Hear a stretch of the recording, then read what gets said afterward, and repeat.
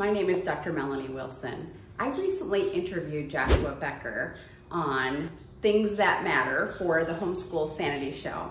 And after I talked with him, I was inspired to reread his account of how he got into minimalism. And the fact is that it all started when he was cleaning out his garage and realized that most of the stuff that he had in his garage, he wasn't using and didn't need. And it was just taking up a lot of his time.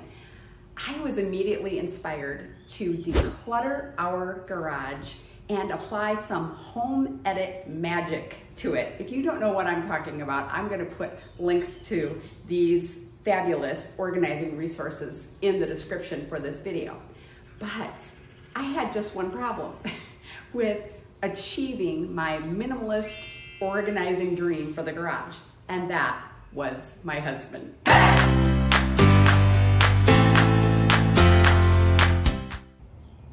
Here we are at the before of the garage. You can see we have wood protectant, some kind of a bucket, a light, sports equipment, bottles, plastic bags, towels, a cover for the, why can't I think of what those are called? I have bubbles and then the screens for the gutters, that's what it is. A random bottle, I guess that is sunscreen over there. This is challenging. and this is just one of many racks and tables and even cabinets full of stuff that has to be cleaned and organized. A confusing array of things. Lots and lots of dirt. and like these cases, ugh, just, they haven't been touched in who knows how long. So we have our work cut out for us and I see, okay. I was gonna say, I think my husband has done some work in here, but maybe not. So these boxes, all these boxes of screws and nails and that kind of thing, I got into one and I, I hesitate to, to check it again. Oh, that's the one, okay, okay. Look at that, some kind of a stinging insect nest inside this box, okay. So, this is, this is what I'm up against. I just wanted to show you that we have some progress. We have decided between my husband and me that he will be in charge of decluttering, deciding what stays and what goes, and I will be in charge of organizing what remains. You, you can see he, he has done quite a bit so far, and I will be checking in with him about where he would like certain items to be stored. But I will take over in containing everything and keeping them in an orderly fashion. So here we have the after and I'm going to zoom in on the bins. These bins I ordered from Amazon. They are just the right size for these shelving units. And then I made my own labels using eight and a half by 11 sticker sheets. And then I used an Avery template to create four labels per sheet.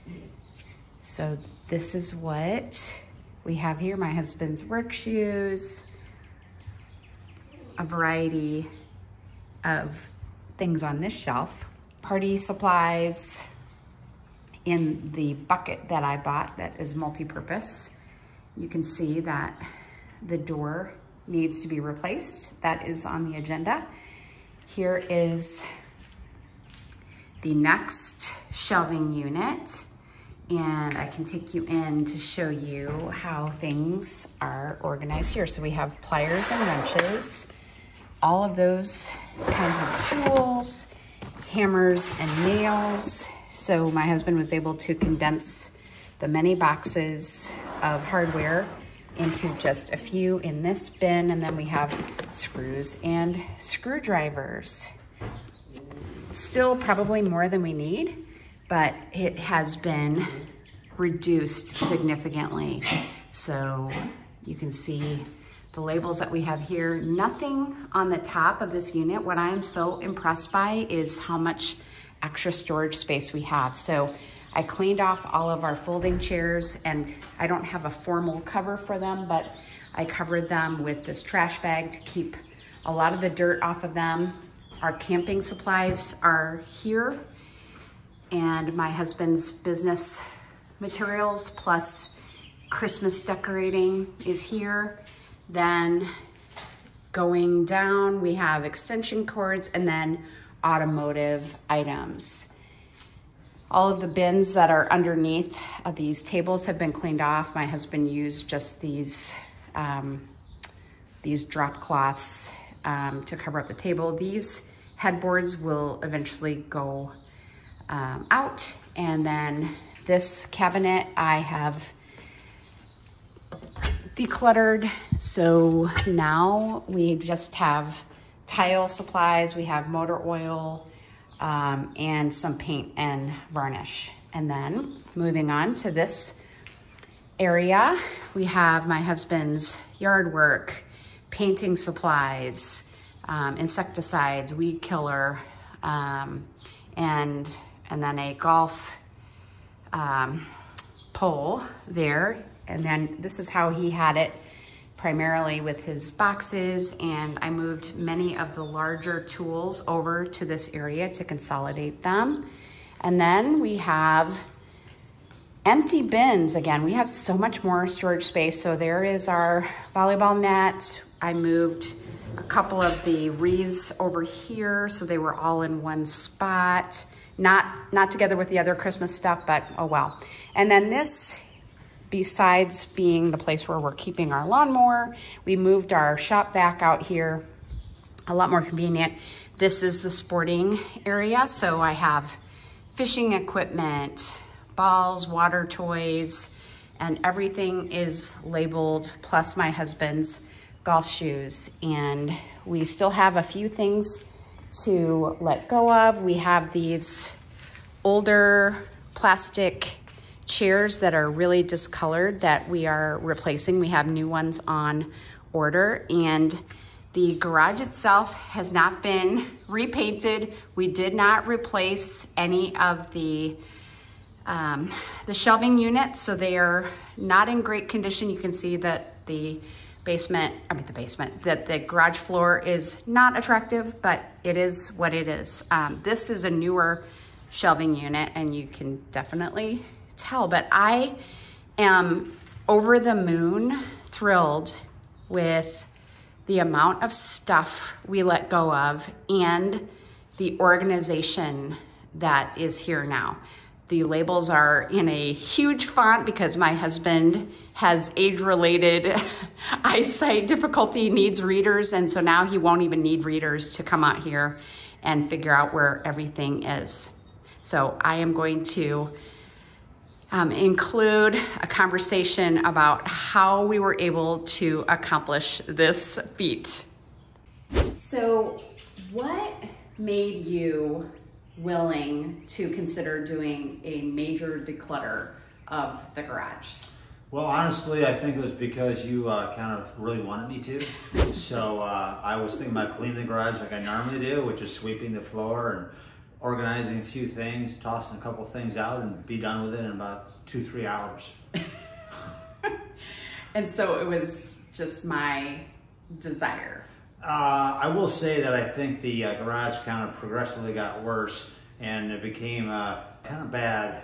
I felt like I was out of control a little bit. So I guess I was ready for a little bit more of a deep clean, but uh, not as deep as you clean. but you really did a great job. You oh, you got rid of a lot more than I expected you to. Yeah, it was, it was a joy to get rid of your bike that was hanging there for about 10 years and got used once maybe. That was nice. It was a dust collector. Uh, there was uh, quite a few things that uh, over here on those tables that I don't know what they were, but I got rid of them. Okay. And uh, so, yeah. All right, so how would you describe your organizing style? Like originally, what's your organizing style? I don't think I really had a style. okay, so I'll describe it. It's called where it fits that you can get to it. oh yeah, I guess that would be it. Yeah. Yeah. You're practical. You just put things where you can fit them and you keep the whole categorization or where items are in your head, Yeah, right? you know, it's easy access. I leave the stuff that I use the most uh, very handy, like right there, close to the door, and with not no containers, I could just f- find it real easy. Okay, okay. Doesn't look real good though, but No, no. Okay, so we agreed that you would do the decluttering, right? That Right. you would go through everything and decide what should go, and that I would then come in and categorize things, put them into bins if, if you hadn't done that already, label the bins and that kind of thing. And I thought that was a great plan. But we did have a couple of rough patches with that. Why do you think that was? because of you. okay, so No, uh, yeah. they were over there. Some things that I thought were didn't need to be mid shelf. I, I kind of figure that's the best shelf, mid shelf, just like at a grocery store. Whatever gets used the most, they put it right there, and then where your eyes see it, and you can reach for it. And and she had something like a big pot that I was never. No, no, it was a container of uh, pool stuff that they accidentally sent me 25 pounds of it. So one of the one of the issues for you is that you wanted to have control and say so about where things eventually were stored, correct? Uh, yeah, yeah, Yeah, because you you feel like this is your domain right. And uh, one of the conflicts for us, though, is that when we have summer parties, which we frequently do, the garage is often left open, especially if we get some rain, we have to move tables into the garage, and it was really embarrassing for me. So I think we were able to work through those rough patches and come to a conclusion about how to organize things. We made some compromises. And how do you feel about the garage now? Oh, I love it. It really looks good. I'm glad we did it. Yeah, and it has, we have space if we need to store more things out here, which I think is really um, amazing. Yeah, it's really nice because before I had a uh, jet ski in there, that took up a lot of space, and I had more bikes. I used to have about five bikes in here, and uh, just more work stuff. And I don't know, we, we definitely uh, slim things down, minimize things. Yes, we did. So you're a fan of minimalism now. Uh, well, some. Right. I've seen some of the shows, not not not as much as they are. Yeah, Yeah. right. Well, I just want to say thank you so much for doing that You're welcome. with me and for me.